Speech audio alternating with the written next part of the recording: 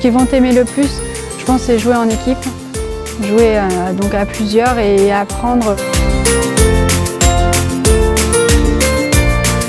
Le système solaire, c'était pour leur apprendre les planètes, chose qu'ils ne font pas forcément euh, tout de suite à l'école.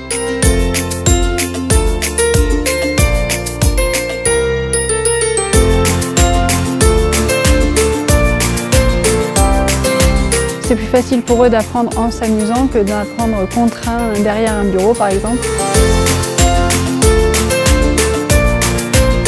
L'équipe Playform a été vraiment opérationnelle sous tous les points. Le travail a été très bien fait, ils m'ont expliqué toutes les étapes et les enfants maintenant bah, sont ravis de pouvoir participer avec ces jeux.